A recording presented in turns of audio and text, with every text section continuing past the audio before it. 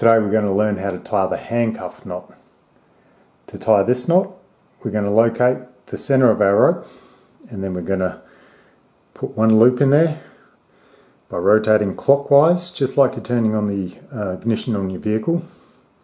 And then we'll do the exact same motion to make another loop. Should look like that. This one is behind and this one is in front.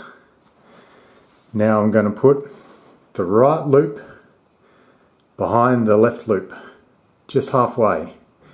And I'm going to pull that one through the front of this loop and I'm going to pull this strand through the back of this loop. So we see how that happens. Grab that one from behind, that one from in front and pull it through and there you have the finished knot. To tighten it, just need to pull on the standing ends.